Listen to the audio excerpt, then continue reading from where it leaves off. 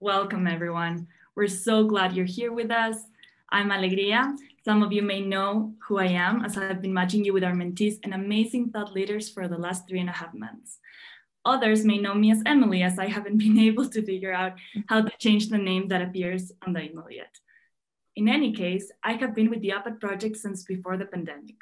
I live in Quito, Ecuador, and fun fact about me is that I have over 100 cacti in my house. And I'm so honored to work with all of you. As your host, I want to open by sharing a word on behalf of the organization. Thank you for believing in your voice and in ours and for uplifting so many others. We are the Op-Ed Project and our mission is to change who writes history. Our mission is about writing, but it's also about so much more. We are challenging false notions of who holds knowledge and who has authority. We invest in and celebrate diverse knowledge and ideas and through our programs across the nation and the globe. And now that it's there, we are elevating news stories, overrepresenting the underrepresented, and making the world smarter one voice at a time. We're also building a fleet of initiatives to bring new voices to some of the world's biggest problems, problems that cannot be solved justly or sustainably without a diversity of voices and knowledge, expertise, experience, and identity. Our current investments include initiatives on aging and longevity, racial justice, public health, and climate crisis. Right now, I want to spotlight a few of the pieces of our community, some of which you yourselves have mentored. Our community includes scholars, historians, and activists, as well as everyday citizens. We have also been working with doctors, nurses, epidemiologists, and emergency responders, overwhelmingly women and people of color. These slides show just a few of the many thousands of pieces they and others have written in the past few months. This is a powerful experiment, and we're so grateful that you're such a big part of it. And now I want to show a two minute video with mentees and mentor editors from across the years of what this work means to them.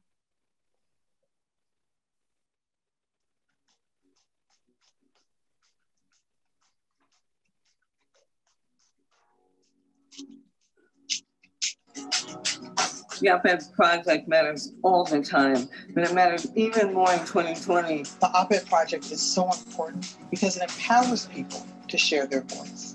It helped me place a story which went so viral it landed on the front page of the New York Times. I don't know that I will ever get over the OMG moment when a fellow realizes they're being published for the first time. It's a tough proposition to get so much published by such amazing newsrooms across the country.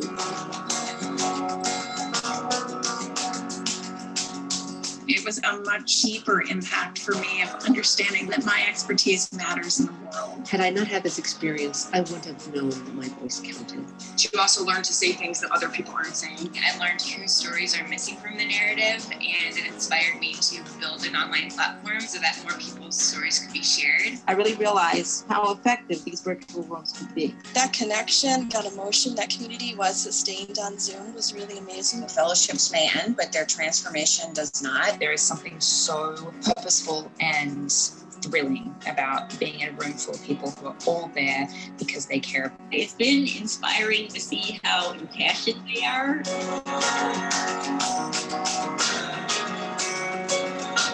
You really feel empowered to know that you each have something really important to say and you just need the tools. Translate your expertise, your writing, your advocacy, your leadership. Have the confidence to make your ideas a reality. And we get to change the world and watch those around us change the world.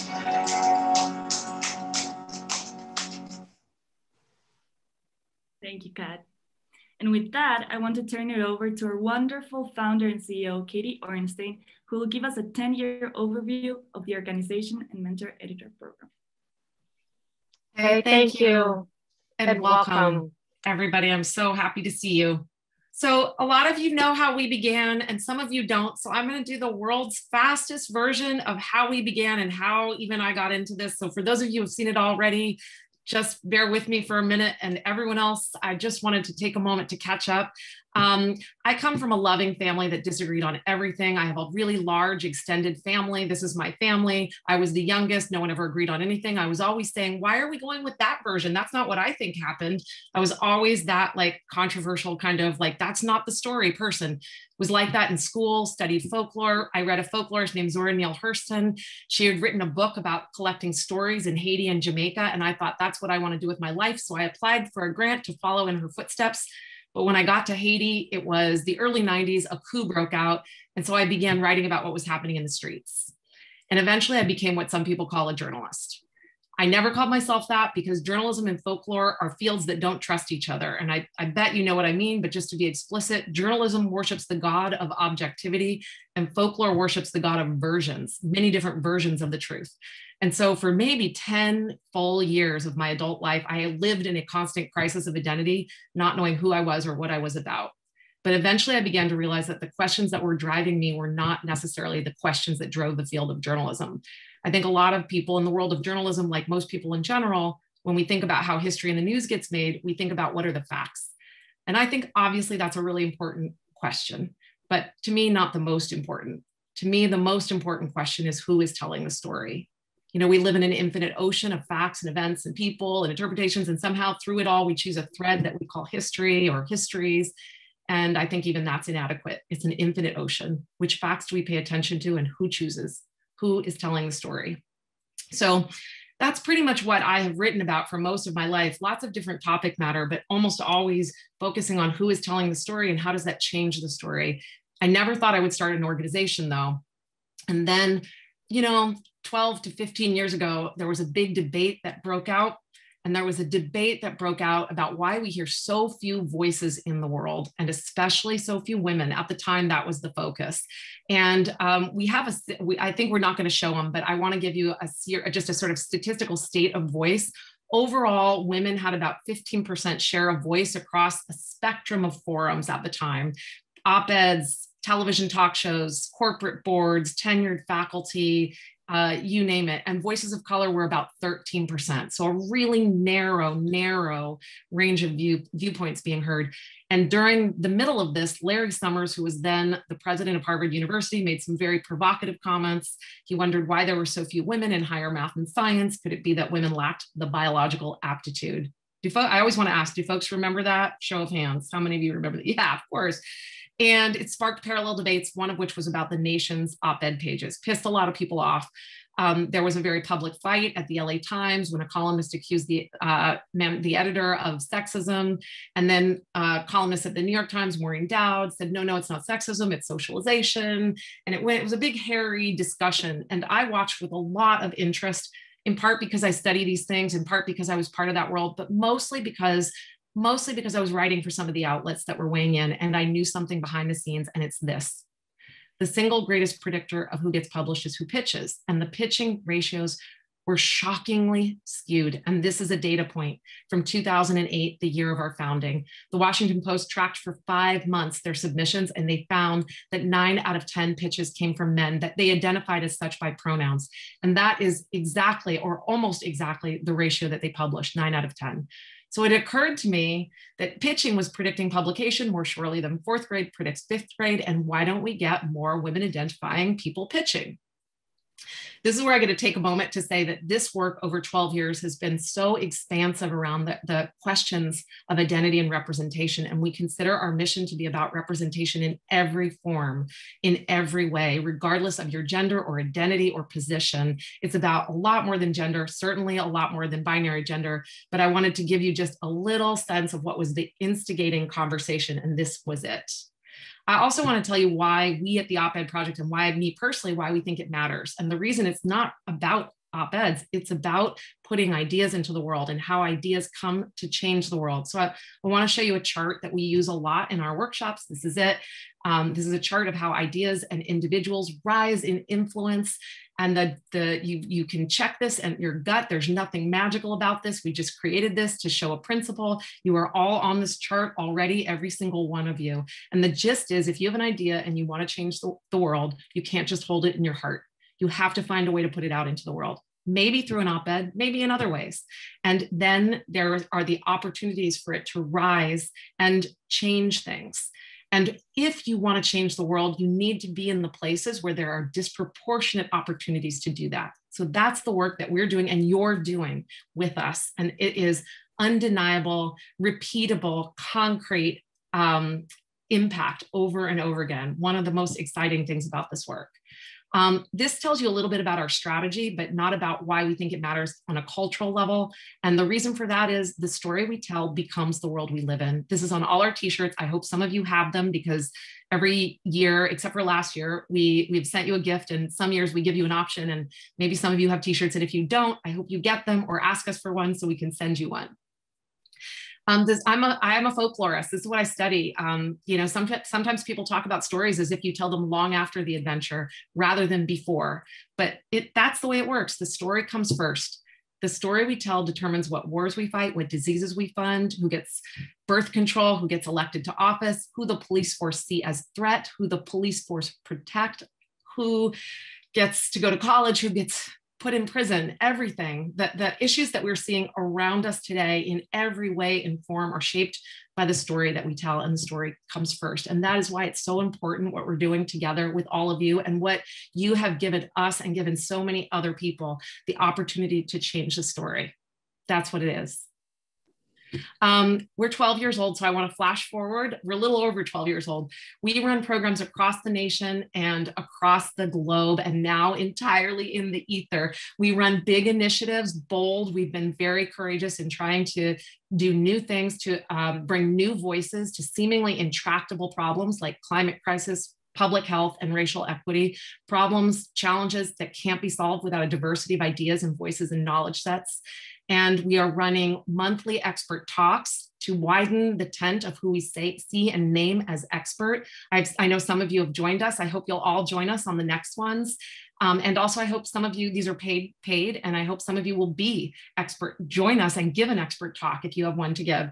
Um, we're running weekly Ask a Journalist webinars. It's like office hours with a journalist who's rooting for you every Thursday, 5 p.m. Each and every one of you is invited. And also, if you ever want to lead one, I hope you'll let us know because that's an opportunity also paid. These are not volunteer. And also, probably most powerfully, what I want to say is you, all of you, we have a network of you, journalists and commentary writers who are our strength and power. We could not have gotten here without you, truly. You have paved the way for everything we're doing now. And so, what I want to do is go to a gallery view right now and invite you all to take a look at each other and just see each other and notice and recognize how much you all have done and how much we can continue to do together. So, for real, I just want to invite you to look around. You're all amazing. I can't believe it took us this long to, to do this. And when you've had a good look, just tilt your head to the right so I know when to move on. All right. Well, with that, I want to pass the mic to my wonderful colleague, Alegria, to share some information about the Mentor Editor program and you. Thank you, Katie. So I want to share some facts about the Mentor Editor program while we honor you and show some of your faces. So Kat is pulling that up. Thank you, Kat. All right, so the number of current mentors is 140, and 10 of you have been around for the last decade. Janice Adams, Joe Loya, Mara Casey, Harriet Washington, Sheri Fink, Connie Schultz, Marci Alboher, Michael Massing, Lara Mazer, and Vibhuti Patel, and some of you are here, and we're so grateful to have you here. And some of you are brand new, including Meg Waite Clayton. So welcome, Meg. And some of you are having children, including this month, Natasha Alford. So congratulations, Natasha. And fun fact, the mentors who live the farthest away from New York City are Christine Kenneally in Australia and also Lisa Pryor in Australia. We have Junji Mijolo in South Africa. And I'm not a mentor, but you might remember that I'm in Ecuador. Some facts about mentor matches. So since the Mentor Editor program began, we have made over 4,000 matches. That means we, by which I mean you, are mentoring over 400 people a year, and we're increasing. In 2016, we made 459 matches, and in 2020, we made 556 matches. And we've got an average of 41 matches a month in the past four years, but 2021 is already a record year with an average of 75 matches per month. We've got more than 260 matches in 2021 only. And now some facts about mentees. 80% of alums identify as woman or non-binary, and 51 identify as non-white. Approximately 30% request a scholarship or are paid for by a sponsor. On average, a participant in one of our workshops has 32% success rate on publishing an op-ed by the one year point, but that is if they don't work with one of you. Participants who work with a mentor editor have a 73% success rate in publishing an op-ed by the one year point, and many of them publish repeatedly. Hi, Najeri. and some of them become mentor editors themselves. Hi, Chandra. Hi, Seba. I see you. Um, and fun fact, one of the most surprising matches ever made by Emily, who's here joining us today, was Patsy Ray Dawson from Dallas in 2016, where she argued that sexless marriages should be considered premeditated attempted murder. And with that, one of the most exciting matches in recent years is Sylvia Foti, who came through our Chicago Public Program in 2018 wrote about her grandfather, who was widely regarded as a Lithuanian war hero. Buildings and schools were named after him. But in fact, she discovered that he was a brutal Nazi collaborator responsible for the deaths of thousands of Jews. In June, Emily matched Sylvia with mentor editor Michael Massing, who worked for her for many hours. In July 2020, her op-ed ran in salon.com, and by September 10, the New York Times published a front page account. Sylvia wrote another op-ed in the New York Times and just published the book, The Nazi's Granddaughter. As a result, the history of Lithuania has been thrown into upheaval. Protests have been staged by historians outside the door of the Genocide and Resistance Research Center of Lithuania, which is the arbiter of Lithuania's history since its independence. She literally changed history. So in case you're curious about who is making the matches, I started mentor matching on January 1st this year. And one of my first matches was Vibhuti Patel with Bria Walker about everyday readers to re-examine the life-enriching role the arts have in their lives. I think Vibhuti was trying to join us. I don't know if she's here yet. But if she is, hi Vibhuti. and um, before me, there were several other mighty mentor matchers. Emily Pintel, hi Em, we miss you, is here. We're so happy she's here. And she oversaw mentor matching from July 2017 to December 2020. And Catherine Baxter, who is also here, hi Kat, oversaw mentor matching from 2015 until 2017. And before that, Erica Fry oversaw mentor matching from 2011 to 2015. And before that, we were very ad hoc. Some of you may still remember it, I'm gonna call on you again, Seba Khan, Mara Casey, Marci Alboher, Janice Adams, and Michael Massing. And I don't think Harriet Washington or Sheri Fink are here, but they were also part of the early crew along with Joe Loya. And in fact, the very first match ever was Joe Loya and Mara Cohen. This was before the mentor editor program existed, and we really owe the idea to Joe and we were really happy that Joe and Mara are here with us today to tell us about that first experience in one or two minutes up top. So Mara, may I start with you? Hi, yes, I'm going to take credit for the 4,000 uh, mentor editor teams who have come through the op-ed project. Basically, um, what happened was I signed up for one of Katie's um, seminars in San Francisco and I flew up from uh, LA and I got the big ego rush of right away having a couple op-eds picked up. And then I hit a little bit of a wall. It had been like a month or two, and I became very impatient and I kept pestering Katie for help. And um, she was trying to grow the program. And so she um, introduced me to Joe. And so through that, because of my being such a pest, this entire program was born. Thank you so much, Mara. Joe, now I want to turn you. hey, Joe. Hey, Lana. So that's not one I recall, but here's what happened. Here's how, here's exactly how I remember it. Um, Katie and I, I'm from the Bay Area, but Katie was in LA for some event. I don't remember what, but um, that morning we had coffee and she mentioned that the program was really taking off, but she was staying up till two or three in the morning editing essays. and it was a lot of work because there was, you know, it's, it's an infancy, but everyone like Mara were inspired and they were producing it and she was trying to keep up with the load and obviously it couldn't sustain itself. So I heard that in the morning and then we went to have lunch and, and Mara showed up for lunch in LA and um, it was a great conversation. I really love, she was talking about some ideas that she had for an op-ed and then she slid the op-ed across and I grabbed the op-ed and I said, I think I know what I can do with this. Let me take a look at it. And I think I might even find a way where we can publish it. So um, I worked with Mara on it. It was a great piece and it ended up getting published and we ended up working together. Uh, we developed a friendship and now loved her voice and we found all these other stories to, to work with. But that started that day because I called Katie later and said, hey, you need to get all your friends who are writers like me and you need to ask, ask us to donate one or two of these a year. This is this was fun. This was easy. Like let's do this. And I recommended it, and um, and Katie ended up formalizing it. I don't even know exactly when, but that's how it started. It was just me listening to Katie and knowing that I could do it. Amada had this really great idea. I don't know if we published that one in the LA Times, uh, but eventually I. He's frozen, but yeah, we got it published. yeah. Thank you for stepping in. thank you. Thank you so much for sharing that. Um, and also another one of Joe's mentees is here, Chandra Bozelko, who is now a mentor herself. So Chandra, in a few words, what did Joe's mentoring mean to you? Uh, Joe's mentoring, actually, I'm going to put it the, what he mentored me on in the chat. It was it ended up being was my first draft that went out to a, a newspaper outside of Connecticut, which is where I'm joining you from today. Um, and Joe, you, as probably everyone knows, the advice that the op ed project gives people about writing op eds and thought leadership also applies to life. And Joe told me that the best way to write an op ed is to use shorter paragraphs. And he gave me great advice that I use almost every day, which is get in, make your point, then get out.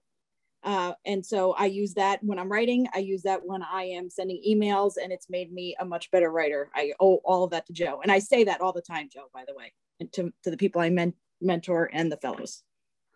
Thank you, Chandra. Thank you so much. So, one very moving match that I want to share with all of you. Three years ago, Katie and Kat joined mentor editor Yukari Kane for a visit to San Quentin to meet some of the incarcerated journalists and writers Yukari works with. Yukari told us that she had decided to start an organization, which is now the Prison Journalism Project, founded with her colleague Shaheen Pasha. Last year, we matched Yukari with Dr. Ivy Hilton, the CEO of Youth and Families in Crisis, who participated in a virtual op-ed project workshop in 2020. And she lit up the room. After being matched with Yukari, she appeared in TV with Shaheen and spoke about staying connected with family members who are incarcerated.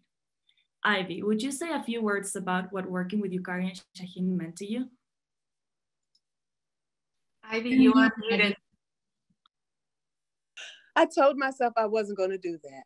Okay. so I first want to thank everyone because the one lesson that I have learned from from this entire experience because I've been wanting to write an op-ed for years, right? And I'm still in the middle of it. I'm still very much active in it. But what I know about it is that clearly timing is critical. Timing, purpose, and direction. And to me, that's what Yukari has brought to me.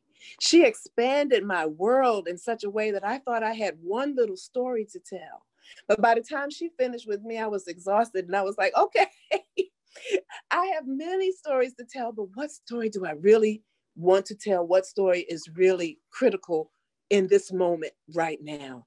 And so I can say that not only did she touch my life, but she grabbed into my story in a way that I had no idea was present. And she found my son, who is also a writer. And since then, he has written more articles than I've written and, and have been published in that journalism project, which I am so grateful for. It gave him empowerment, it gave him encouragement. And now in the prison, he is focused on learning to create his own op eds. And he understands very clearly the power of the written word. And it is not only me that she is mentoring, but she is also mentoring my son. And this has truly empowered my life. And I haven't finished with you, Katie. I have a whole lot to give. You just haven't heard from me yet, but you will. That's beautiful, Ivy. Thank you so much for sharing that. Yukari, would you tell us what mentoring means to you? Hi, everyone. Um, I have been so um, influenced by Katie. I came to the op-ed project because uh, a colleague from the Wall Street Journal had um, forwarded me an email saying that Katie was looking for mentors, and I just, um, you know, it seemed easy to do, and I was happy to give back, and so that's how I got started. And um, and shortly after, I started teaching journalism at San Quentin. So it, it really does seem like it's meant to be. I was I've been uh, Katie has been a personal inspiration. The Op-Ed Project has been as well. Um, the motto, whoever tells history writes history, has been I mean, really, for me personally, that's that was uh, my inspiration for the Prison Journalism Project because we started our publication about a year ago when the pandemic happened, and everything closed up, and we didn't know what was happening inside. And I just felt really strongly that they needed to be part of the history of, of the pandemic. Um, and since then, we've really um, started figuring out how we can bring journalism from inside the walls from across the country. And so that's when um, Katie introduced me to Ivy, and um, it's just um, you know Shaheen and I both love her. We're not done with you either, Ivy, um, and uh, and um, it's you know her her Ivy's op-ed is coming. It's it's it's a journey, and uh, we understand that. And it's been such a pleasure to work with her son Richard. Um, he's um, he has written some extraordinary pieces about his his first days in in jail and his first year in prison and and he just um, uh, sent us a whole lot um, more detail about those first years and, and how he went from a hopeless situation that last night of freedom before um, it, you know before everything happened and and how he's found hope again and, and we're we're working to to put that out as a as a five part series. And so um, you know, um, I, I, I, can't be more thrilled to be celebrating the 10 year anniversary and to be a part of it. And um, you know, congratulations and look forward to, to doing more with you. Thank Congratulations. You. Congratulations. Thank you, Karen. It's really moving. Some mentees are so powerful that we hope they become mentors soon. Najeri Rutledge was matched on three different pieces with Judith Matloff, Kira Goldenberg, and currently Mara Casey. Not too long after participating in one of our workshops, Najeri was invited to join the editorial board of USA Today. Najeri, tell us what this has meant to you. Thank you so much, Katie and the Op-Ed Project. It's meant everything to me. I believe the Op-Ed Project is truly transformative. I was truly ready to give up I had so many no's. I'm an academic, and academic writing is so much different than op ed writing. And I was so frustrated because, from a baby writer's perspective, you send these pieces off and it's like crickets. And I was so frustrated. And I signed up for the Thursday Ask a Journalist program. And right before I was about to say, this just isn't for me, I got such wonderful encouragement from one of those editors. Uh, and that led to me publishing my first piece, which led to other pieces. It's just so invaluable to have that feedback. Um, and I really do credit you guys for getting me to USA Today and the board of contributors.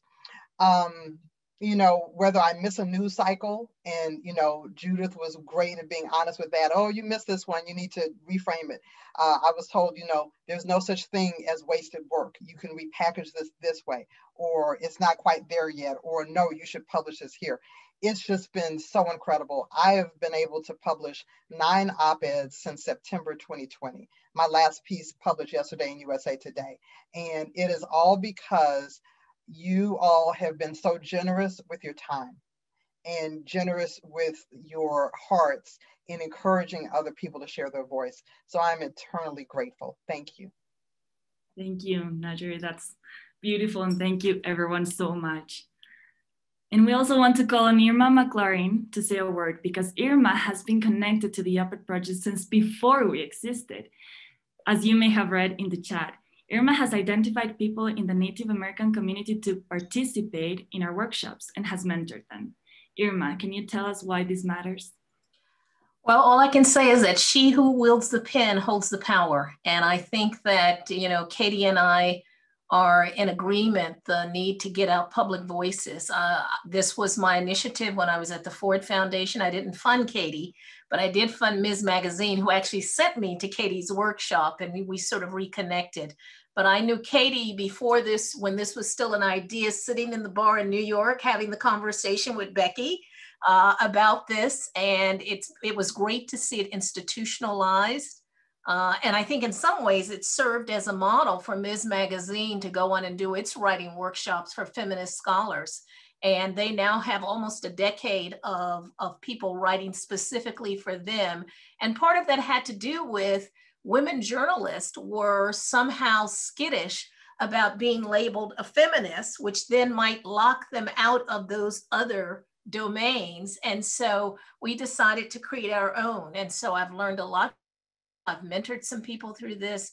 And I can't tell you that as a writer, I'm an anthropologist. Uh, I've been writing since I was eight years old. Uh, I was the editor of Transforming Anthropology for 12 years, seven years. So I do academic writing, I do public writing, and I try and find a way to blend them both. And I think for me, um, the affirmation was when in 2015, the Black Press of America named me uh, best in the nation columnist, even though I'm not trained as a journalist. So it's been great, and I hope that I can continue to participate. Thank you, Irma, so much. There are so many other stories that we can't feature because we don't have time, but I hope this gives you a sense of why this work is so meaningful and why you are so important. Thank you again from myself, from my team, and from Katie. And now I want to turn it over to Chandra, for the last year, we've got more submissions that we can manage without regular help. So Chandra is not just a mentor, she's also a member of our team and has been serving with a special role mentoring 10 or more participants a month. We've asked her to answer a few of your most common questions. So I'm turning it over to you, Chandra. Thanks, Alegria. Sorry, I was muted there for a second. Uh, welcome, everybody. Glad to see all the people I work beside every day. Um, doing this mentorship work, that, which is really crucially important. As I said, I was a mentee and now I'm mentoring. So it's there's a natural cycle here at the op-ed project. Um, a lot of times, I guess people are asking questions to either Emily, Kat, or now Alegria about what to do if they get a certain piece. So I'm just going to go through these questions. What if my mentee's piece isn't good? Um, I'll be honest, having done more than a couple hundred of these at this point, um, the likelihood of it not being terrific is is high. And so that's okay because these are people who haven't done this before. That's why they're actually accessing the curriculum and the program. Um, what i generally do i think is not to think that we have to do a, like a page one rewrite start from the beginning and rewrite it for them so that it's uh, more likely to be published but rather refer them back to the curriculum the whole breakdown of lead argument three pieces of evidence the to be sure and then the conclusion i think that's really helpful because most of the pieces that come in that follow that general structure are okay. They can be worked with and made into something a little bit better kind of sweetened up. Um, if they're not following the structure those are usually the, the ones that you that are the most i guess problematic for people for mentors because they don't know what else to do with them. I always just send them back to the um, to the curriculum and it really does help. And that's also a service right? Like saying this is where you need to go in order to get to the next step. Even if you that won't get them actually published reverting their attention back to the curriculum is very helpful to, to them when you do that. Second what if i disagree with my mentee? I think there are two ways to disagree. There's a disagreement over something that's like political like maybe something like a congressional bill whether it should pass or not. And then there's disagreement over issues related to humanity and rights uh, and hate um, I've actually had experience with both, but if you disagree with your mentee, I think it can actually be an exciting process because if you disagree with the main argument of the piece, then you what your position is should appear in the to be sure. If it doesn't, that's a great way to point out uh, a, a, a, flaw or a, a, potential area for, for improvement to the mentee. Um, and then I also think a lot of times I've read pieces that I don't agree with it, but I'm actually kind of swayed a little bit by some of the evidence that I either didn't know about or the way that they present it or they spin it even. Um, so it's actually a very good learning experience for me. when there are issues regarding people's rights, uh, I actually did have a uh, someone who he didn't identify as a white supremacist, but he had those types of ideals, and it appeared in his work. Um, I push back by just saying very clearly these ideas are problematic. They are not appropriate for a public forum, but also I just want to point out that you have no evidence. And I think that that was at least effective for me to let him know that this was not only something that offended me, but also you have no basis for these offensive ideas. Um, and I kept going back at him about the evidence that he lacked, which, I mean, those those ideas don't have evidence, at least not ones that we that um, editors are going to rely on. Thirdly, do you need to be an expert on the topic? I've heard this a lot. I don't think so. In fact, if you think about the times that you've pitched your own work to editors, they probably didn't know anything about what you were writing about, and they still saw the idea and the potential in it. So I, I, I edit things that are I know nothing about, and a lot of times I am very convinced by them, and I think that that's a good op-ed times when I don't know anything about it and I'm still not convinced, that's a really good opportunity to provide feedback that you need to explain this more. And if they're locked in jargon, part of the op-ed project curriculum to get them out of it, um, because it, an editor is not going to know every topic anyways. And that's ultimately where we want these pieces to be is in front of an editor who's going to say, yes, I, I understand this idea. I like it. I think it should be out there. So I don't think that's a limitation. I know some mentors are saying I don't I only cover this area, but it actually can expand your own knowledge base if you work with other people on other, you know, other topics that you're not used to editing or working on yourself. Four, how long should I spend mentoring? I think this depends on the person, the mentee, and the mentor. Like if you are really rushed for time, I think maybe a half an hour total would be appropriate, um, but giving them those like crucial structural uh, points and feedback, and then also maybe sharpening an idea if it's not really clear, making the, the thesis statement or the argument even better than it is. Um, I have had some that I've gone back and forth several times on because I thought it was worthwhile and the, I felt that the mentee was on the verge of uh, making a breakthrough of understanding what he or she had to do. So um, I've spent anywhere from a half an hour to maybe you know several hours over a number of weeks working with people depending on their potential and also their willingness to kind of invest in the process if they're really willing to work hard and take my suggestions. Then i tend to spend a little bit more time but i think a half an hour it, no one should feel guilty about that. Lastly when can you set where can you send your mentee for more support when you've had enough which is something that i fully understand. I should add, I am the person that, who was assigned the woman who said, if you don't have sex with your husband, you're uh, committing premeditated murder. That was my mentee. Uh, it didn't, as far as I know, it didn't get published.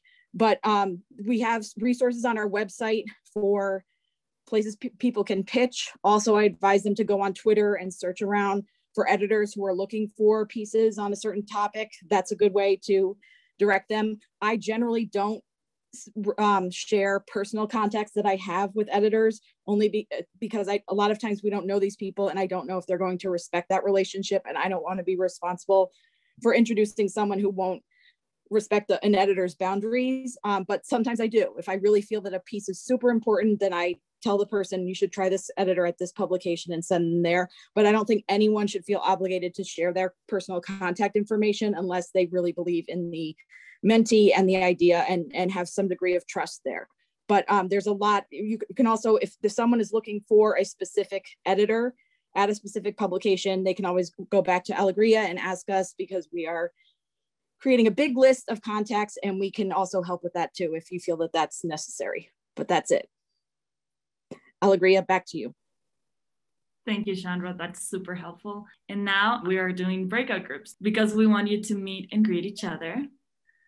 Um, this is just a suggested outline of what you can say. We are going to, just to be clear, we're going to drop you into groups of four or possibly five just for 10 minutes. People have asked, when can we meet? And oh, I've never met anyone. So we thought we would give you just a few minutes to meet a few other people. And um, we're going to do that now for 10 minutes. Welcome back, everyone. Welcome back, everyone. I hope, um, I feel like that was like the briefest 10 minutes, but I just want to say I hope you all had as good an experience and conversation in your room as I got to have in mine. Um, uh, that was really lovely, and I can't believe it's been uh, over 10 years. We, we put 10 years or something like that because we actually really don't know when it started. There was um, the first you know, the first match that Joe did. And then there was like some stumbling around. I, I do want to say that there was one, I want to highlight one amazing match that happened, um, who is um, I, I, have not asked you to speak, so Zeba, you can weigh in if you want. But in 2009, probably the most memorable match in in that era was you were matched with two people. I think Marci Alboher and Stacy Sullivan. And I'm just going to brag on Zeba because Zeba entered a contest, uh, a Washington Post contest, along with 5,000 other people to be America's next pundit, great pundit, and beat out 4,999. I think that was it. And we had no money and nothing but we were like we need to do a press release. How do we do a press release? And my father to this day talks about that moment. It was so exciting. Um, to this day he asks how is zeba khan doing? And i just want to um, take a moment to just ask zeba how you doing? You want to say say a word uh, I mean, that was, I'm so glad we got the little minute there because it kind of calmed my, when I saw everyone, I just almost started crying. People probably saw me tearing up. So I, I, I love this community so much uh, on a personal level for, for so many reasons and obviously professionally, but um, I'm, I, I, I can't say it enough. Like I have so much love in my heart right now. Um, this community means everything to me, the work that we're doing, the work that the team is doing now. And I, and, and I'm a little bit more removed, but I, I get to hear and see the testimonials again and again. And thinking back, it's, you know, from 2009. I just, I'm almost, I'm at a loss for like for words of the impact that this community has done together under your guidance, Katie. Ah. And I have so much love for you personally and in my professional hat too. But um, I feel so grateful and I feel so fortunate to be in this community with so many people that I I love and I am enriched by just enriched by the minds and the spirits of even the people I don't know yet, but I'm looking forward to meeting um, and as fellow mentor editors. So I feel so grateful. Thank you. Thank you. It's so good to see your face. I haven't seen your face in such a while, and it's so good. Um, we're almost at the top of the hour, everyone, and I promised um, Alegria I would say one word before I turn it to my friend, my dear friend Janice Adams, to close us out. But first, I want to say one word about um, all of you and your preferences. Um, Alegria created, or Emily created, or Catherine created an onboarding form, a little to like one pager just so that you could tell us what your preferences were. But if you and if you joined us uh, in the last few years you got one of these. But if you were here from longer ago you would never have seen it so the onboarding form is in the chat right now, and we'll send an email out with it. And if you like, you can answer it. And if you don't want to, you don't have to. But it's a chance for you to tell us how often you want to mentor and do you have any particular interest like i really really want to um, mentor people who are from the american south or from um, this community or um, i you know whatever i whatever it is you can tell us a bit about yourself. It will take you just a few minutes and we love to hear that. So you'll get that and you'll get an email with a link to this recording and um, whatever other materials we mentioned we'll provide in a follow-up email. Um, but in the last minute i want to take a moment to shine a light on and also ask um, my friend janice adams to close us out. Janice has been an inspiration a friend a mentor a colleague dating back to before the op-ed project even started. Um, she has written i think 10 books and over 500 maybe 600 columns by now. Um, and she has started a new nonprofit um, uh, an institute for history and Healing that I'm honored to be on the board of. And she has mentored more people than I can possibly name. And I would like to turn it to Janice to close us out with a few words on why this matters. Oh my goodness. Thank you so much. Um, you know, I, when I first started writing a column, I was one of only three African American women writing columns in the nation's papers. In in uh, well probably not in African American newspapers, but in the nation's quote general media newspapers, major media newspapers, and when you came along and asked me if I would participate in this, Katie, what I saw was possibility.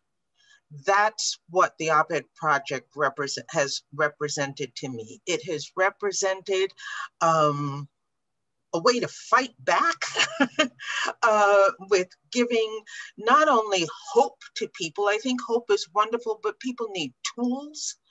And it was a way to bring, give tools to other people.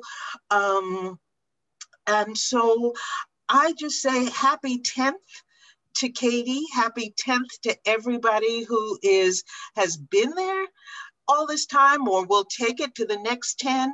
Um, but also thank you so much for enriching the nation really by the work that you do. And we need it to continue. We do. So thank you, Katie. Thank you all.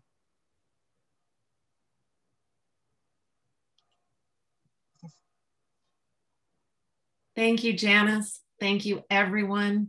Um, we're at the top of the hour. I will. I would like to say good luck, good wishes, good like everything to all of you.